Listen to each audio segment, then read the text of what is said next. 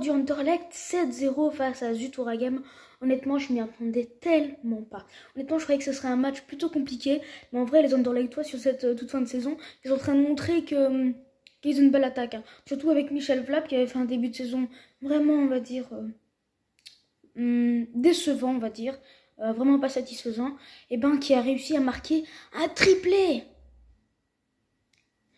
Et je vois clairement que le KV Courtrai vient de perdre 1-0 contre Charleroi à domicile. Euh, du coup, je disais. Euh, tu as aussi Jérémy Doku qui est aussi une bonne petite euh, révélation cette saison. Parce que vraiment, il joue pas mal. surtout pour la, deuxième phase de. Comment on dit Les phases retour. la phase retour en gros de, de Pro League quoi.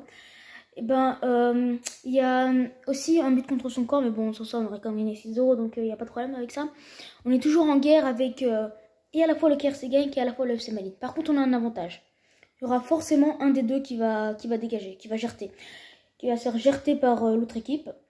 Parce que euh, ils vont s'affronter entre, entre deux pour le dernier match. Et d'ailleurs, le dernier match, vraiment, ça va être beau parce que c'est le dernier match qui va déterminer si l'Underleg va jouer euh, les playoffs 1 ou pas. Du coup, euh, nous sommes à 43 points, avec une différence de but de 16. Euh, le KRC Genk est, euh, est, euh, le- est 7ème, avec euh, 44 points, et une, une différence de but de 2, il me semble. FC Malines, ils ont 44 points, ils sont 6ème, et ils, euh, ont 3, il me semble, de différence de but. C'est égal qu'on a beaucoup plus de différence de but qu'eux, surtout avec la victoire 7-0. Donc, il suffit juste de gagner notre dernier match face à Saint-Tron. Sérieux, les gars, face à Saint-Tron. Et puis, c'est bon. Je viens de penser à un truc que je même j'avais même pas pensé. Vu, vu que euh, KRC Gang et FC Malines sont tous les deux à 44 points.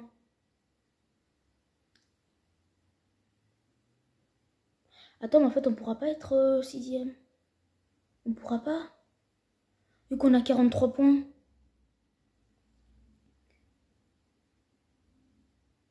Vu que le euh, FC Malines et le KRC Genk, là, ils sont en train de... Ils ont tous les deux 44 points. S'il y en a, il y en aura forcément un qui va gagner. Enfin, je sais pas, ils sont obligés de faire match nul pour qu'on puisse se passer. Et j'espère tellement qu'ils vont faire match nul. Ce sont tous les deux de grosses équipes. Donc j'espère vraiment qu'ils vont gagner. Et Charleroi qui gagne 4-1 face face à la Gantoise. J'espère vraiment, vraiment, vraiment que euh, ça va être un match nul, vraiment. Standard Liège 0-0 Centron. J'espère vraiment puisse être sixième. Encore, si on est sixième, le, le truc ne sera pas joué. Vu qu'on va se retrouver face à un club de Bruges, ok, on a perdu euh, 2-1 dans, la- dans la phase aller dans la phase retour. On va devoir affronter le Standard de Liège. Le Standard de Liège, c'est plus trop un problème, honnêtement, avec leur, euh, saison euh, catastrophique, leur fin de saison, pardon, catastrophique. On va devoir se taper RC Antwerp, qui ont un, gros point négatif, c'est leur équipe vraiment vieille. Vraiment, ils ont recruté les joueurs les plus vieux pour pouvoir les avoir à bas prix. Ça leur réussit plutôt, vu qu'ils sont troisième. Qu'à la Gantoise, qui sont plutôt rassurants, vu qu'ils ont perdu 4-1 versus euh, Charleroi, d'ailleurs, je viens de le dire, 4-1 quand même, à domicile. hein, domicile.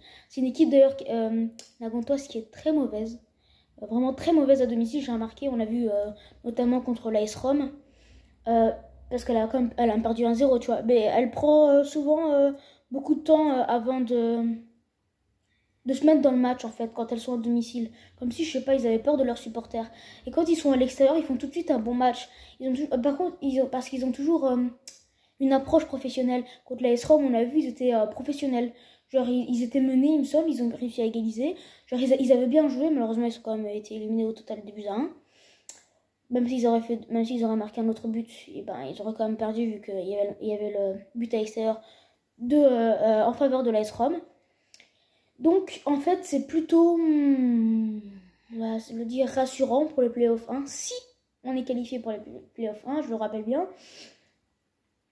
qui va euh, requérir, qui va devoir requérir, qui va requérir euh, une, euh, forcément un match nul de FC, entre FC Malines et KRC Genk. Il me semble que KRC Genk joue à domicile, je suis pas sûre. Et j'espère d'ailleurs, parce que, euh, parce que, parce que voilà, tu vois.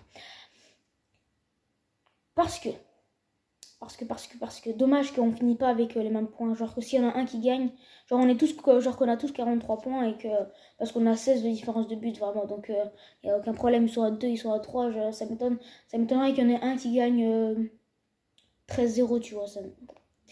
C'est pas possible. Hein. En particulier, si on va gagner, je pense, le match contre Satron, je pense que ça va pas être trop compliqué. Je pense qu'on va. Avec notre attaque, surtout de la fin, vraiment, je pense que ça va le faire. Mais, mais, mais, mais, mais, mais, mais, mais, du coup, je reviens plus ou moins là où j'en étais. Je ne sais plus là où j'en étais, on va pas se le cacher. Euh, déjà, il y a. Euh, J'ai oublié son nom. Le buteur euh, qui a joué, il s'est pris un carton jaune. J'ai oublié comment il s'appelle. Michel lui, par contre, je l'ai dit, il est exceptionnel en cette fin de saison. C'est vraiment un atout exceptionnel, je le dis bien, de 22 ans, 23, je pense, je sais plus. Euh, cette saison, vraiment, c'est une, une, révélation. Vraiment, au début de saison, il n'était pas ouf. Maintenant, vraiment, il est super ouf. Doku aussi, mais bon, c'est une petite équipe de jeunes. Donc, ouais, vraiment. Shadi aussi, il arrive euh, sans pression, il marque direct. Genre, il arrive deux secondes plus tard, il marque sans pression. Par contre, je vois Game, vraiment été étonné par leur mauvais match. Ils se sont pris un but, deux buts. Ils se dit, ah ouais, c'est chaud. Ils se sont pris trois buts. Ils se sont dit, Bon, allez, on, s'en fout, on défend même plus. Tu sais, il marche, euh, la défense, elle s'en battait euh, complètement les couilles. 4-0, 5-0, 6-0 et 7-0. Ça, fait un peu chaud quand même pour eux parce que j'estimais quand même que c'était une bonne équipe, tu vois. Parce qu'il me semble que le, match chez eux, on avait perdu. Donc, quand même, c'est une grosse différence, tu vois, de, de but euh, entre domicile et extérieur. Le Caire, c'est qui ont été euh, pas le Genk. le, le RS Anderlecht a été exceptionnel cette fin de saison vraiment à la toute fin de saison. Après avoir perdu 2-0 face à Malines, ils, ils, sont direct repris. Et du coup, ben, ça me laisse, euh, ça me laisse euh, beaucoup d'espoir, on va dire, pour, euh, pour le top 6. En tout cas, je pense que ce sera magique, je pense, cette fin de saison, si on arrive à se qualifier pour les playoffs 1. Parce que vraiment, on a fait un, très mauvais début de saison. On, était 9e euh, pendant la plupart partie de la saison, pendant la plupart de la partie de la saison. Ça veut rien dire pendant une, grande partie de la saison. On est même passé dixième à un moment, puis on s'est dit shit là on vient de perdre. Faut un peu qu'on se relève là parce que les supporters ils prennent de moins en moins de plaisir. Ce qui veut dire moins d'argent pour le club vu qu'ils viendront plus. Ce qui veut dire moins d'argent pour nous. Ce qui veut dire on va se donner à fond parce qu'on n'a pas d'argent. Et du coup, putain, quand même euh, enchaîné 6-1 contre KS Pen, contre AS Pen, pardon. Non, casse, casse peine normalement, mais bon, on s'en fout. Euh, on a bien été aidé par le carton rouge, euh, honnêtement, hein, parce que je pense pas qu'on aurait gagné autant euh, sans. 3-0 face à Wasson Beveron à l'extérieur, mais bon, ça c'était un peu hmm, facile à devenir, on, s'y attendait, tu vois. Et puis victoire 7-0 face à Zultoire Game, et bien qu'en Belgique tu peux voir ça. Hein. Honnêtement, je pense que c'est plutôt bien. Du coup, je reviens là où je disais à, propos des playoffs. En playoffs, on est. Euh, si on se qualifie, on aura, on aura quand même joué contre le Standard Liège, contre le club de Bruges, je vais faire au truc du classement. Contre le club de Bruges, qui écrase tout le monde. Là, il n'y a pas de limite, on sait qu'on va forcément perdre les deux matchs. Après, ça dépend parce qu'à domicile, avec nos supporters, je sais pas trop. Ensuite, euh, la Gantoise, je l'avais dit, c'était plutôt rassurant parce que à domicile, ils sont vraiment mauvais, c'est le mot, ils sont vraiment mauvais. Ensuite, c'est Charleroi, ils ont été exceptionnels. 4-1 euh, face à, euh, Gantoise. C'est aussi une équipe de jeunes, il me semble, mais en Belgique, il n'y a que des jeunes, j'ai l'impression. C'est que des, clubs qui testent leurs jeunes et ensuite ils seront rachetés par la France, par tout de pays. On sait par exemple avec Eden Hazard, non pas Eden Hazard, de Bruyne, il était à Genk, il est parti je sais plus où. Lukaku, il était à Underlect et il est parti. Euh, allez, il était parti euh, à Chelsea. C'est euh, Courtois aussi, je pense qu'il était aussi à Genk, je suis, je suis, je pas sûr. Et il était parti à Atletico. Vraiment, ça fait. Il était parti à Chelsea, mais il était prêt à l'Atletico, je crois. Vraiment, du coup, ça fait. On aura notre place, je pense, si on en, en playoff 1 on pourra se qualifier pour l'Europa League, je pense, mais ça va quand même être un peu compliqué. Suivi ensuite du quatrième championnat qui est euh, une très bonne question, l'RC Antwerp. L'RC Antwerp qui, je l'ai dit, avec une équipe de vieux. une équipe plutôt rapide, je pense, en défense, mais en attaque, euh, je sais pas trop, vu que c'est vieux et tout, donc ouais. Par contre, en Anderlecht, on a des joueurs rapides, techniques, avec Michel Blap et Jérémy Doku, je leur fais entièrement confiance. Avec. vraiment, je pense qu'on a notre place. Le Stade de Liège qui, font très mauvais, font une très mauvaise fin de saison. Donc, des catastrophiques, même donc des clubs, en gros, je vais citer les clubs que je pense qu'on pourra battre. Le Standard de Liège, je suis presque sûr qu'on pourra les battre sur un des deux matchs. La Gantoise, parce que sur le dernier match 1-1, ils ont marqué au penalty. Je pense qu'on dominait quand même euh, la plupart du temps, donc, euh, donc ouais, donc euh, ça fait 1-1. ça fait 1-1, je raconte, ça fait 2. du coup, le troisième club, l'Arsenal Antwerp. On avait fait match nul dans Air Center, je sais pas trop. Donc je sais qu'en tout cas on aura l'avantage sur la vitesse et sur surtout la, la vivacité de notre équipe. Suivi, euh, je pense que c'est tout. C'est déjà pas mal. Trois équipes, ce qui veut dire qu'on peut finir troisième si on, termine, si on termine les playoffs. Il peut avoir un truc qui fait que la troisième place euh, belge soit qualificative en Champions League, mais c'est beaucoup plus rare qu'en France. Tu vois, en France, il me semble que ça arrive assez souvent que que la troisième place au qualificatif pour la Champions League. Donc je pense qu'on va finir en Europa League. En Champions League, ce serait beaucoup trop compliqué. Avec, euh, avec le club de Bruges, je sais qu'on va perdre nos deux matchs. Ce serait un exploit si on fait un match ligne vraiment. Contre euh, Charleroi, je pense que je pense qu'on va, bien en chier parce qu'ils ont une équipe qui est vachement plus euh, vachement plus vivante, j'ai envie de dire, avec une meilleure vivacité, avec euh, des joueurs de confiance, avec des joueurs jeunes aussi, comme notre équipe. Ça, c'est deux points forts pour nos deux équipes. Des joueurs rapides, bien évidemment.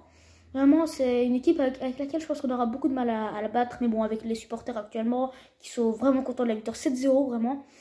Je pense que vraiment, on a, notre place pour finir troisième. Donc, je prédis que si on passe en playoff, on finit troisième.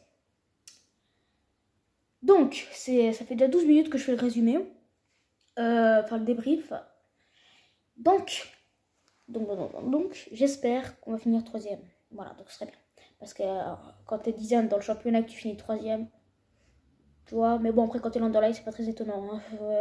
On a déjà battu 2-0 euh, le Real Madrid en 2001, 3, 4, je sais plus. Donc,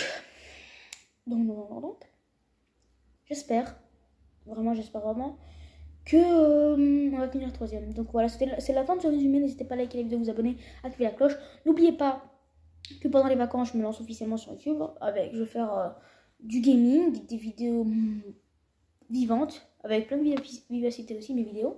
En fait, du montage comme on peut voir sur plein de chaînes YouTube, euh, des youtubeurs qu'il y a actuellement. je ferai des vidéos un peu de tout. Enfin, j'ai toujours fait des vidéos sur tout ce qui me plaisait. J'ai toujours fait des vidéos sur tout et n'importe quoi. Je vrai que vers 2017-2018, je faisais souvent des podcasts. En fait, j'ai fait que ça des podcasts. En 2017-2018, j'ai fait que des podcasts. 2019, j'ai pas été, été très active parce que voilà, j'ai perdu mon ancienne chaîne et tout. Ça me saoule hein, parce que YouTube, j'ai l'impression qu'ils font exprès de me faire perdre mes comptes. De me faire perdre mes comptes. Hein.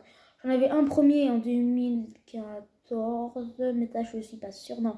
Mon premier compte sur YouTube, 2014, c'était sur Facebook. Sur YouTube, c'était en 2016, c'était euh, un gars boyabou, je sais pas quoi.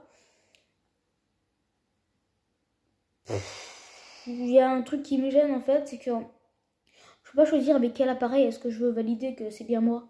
Genre, euh, par exemple, j'ai perdu mon mot de passe et tout, on s'en bat les couilles, je vous dans une autre vidéo. Donc, le résumé, voilà, c'est la fin, ça dure 14 minutes, je suis vraiment désolée parce que je pense que quand c'est long comme ça, c'est chiant. Je vais faire un peu comme, euh, comme un peu comme ça. Comment il s'appelle Mohamed Eni, voilà. Je vais faire des débriefs comme ça, vous parlant de, ce que j'ai vu. Ou de ce que j'ai écouté à la radio, ou, avec les statistiques et tout. La prochaine fois, je me renseignerai plus. Genre sur l'ordinateur, sur l'écran, je mettrai les statistiques et tout que je vais aborder. Parce que j'aimerais bien faire ça avec une approche plus professionnelle. Parce que déjà qu'il n'y a pas de montage et tout, donc voilà. Donc je pense que je ferai aussi ça à tous les matchs des équipes que je supporte. Je supporte en premier l'Anderlecht, ça j'ai toujours supporté. Même s'il y a une période où j'avais un peu préféré le Standard de Liège. Il me semble qu'ils avaient gagné 2-0 contre euh, Anderlecht. Du coup, je m'étais dit, c'est vrai qu'Anderlecht, en fait, c'est pas ouf. Du coup, je préfère supporter le, Standard. En plus, c'est à Liège, j'habite à Liège. Donc euh, voilà, je me suis dit. Hmm. Mais maintenant, je suis plus près de Anderlecht, vu que j'habite euh, euh, près de Wavre, je donne. Du coup, bah, je suis près de Bruxelles, donc, donc voilà. Euh, je me souviens même plus de ce que je disais. À propos de... Ah oui, et l'OM. Voilà, je supporte l'Underlight d'abord euh, à 100%. Et puis l'OM. Donc voilà, il y aura souvent des débriefs sur ça, ou sur des gros matchs, ou des équipes que j'aime bien, ou sur des joueurs que j'aime bien, et tout, tout, tout, tout. Donc c'était Mister Jouer Gaps. J'espère que vous avez kiffé la vidéo. Si c'est le cas et que vous êtes resté jusqu'à la fin, vraiment des vrais. Je vous souhaite une bonne soirée, une bonne nuit, surtout parce qu'il est 21h passé, 22h même. Du coup, j'espère que vous allez passer une bonne nuit euh, en ce bon dimanche. J'arrive pas à voir l'heure, ça me saoule. Ah, c'est parce que c'était ici. Il est précisément 22h06. C'était Mister Gaps. Ciao, ciao